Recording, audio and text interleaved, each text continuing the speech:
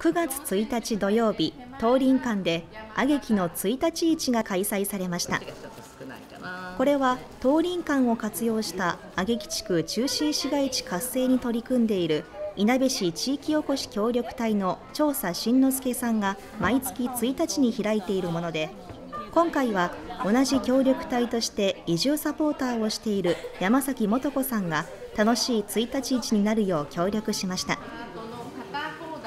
大きな美術品が展示された部屋では作って楽しい食べて美味しい飾り巻き寿司のワークショップが開かれ皆さん寿司飯や網エビなどを使ってキュートなハート型にチャレンジしていました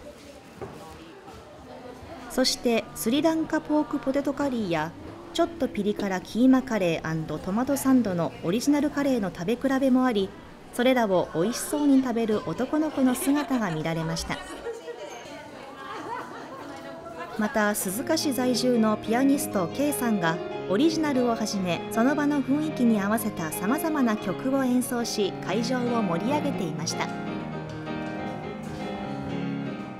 廊下のマルシェでは手作り雑貨がずらりと並びました。中には売り上げが発達支援や子育てサポートに役立てられるこの手のパン屋さんもありたっぷりあんが入ったあんこっぺを多くの人が買い求めるなど終始にぎわっていました。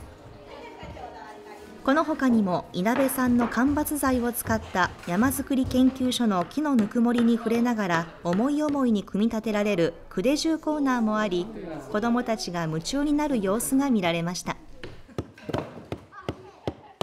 早くから多くの人が訪れていた東林館での1日市。皆さん時間を忘れてぬくもりあふれるレトロなマルシェを楽しんでいました。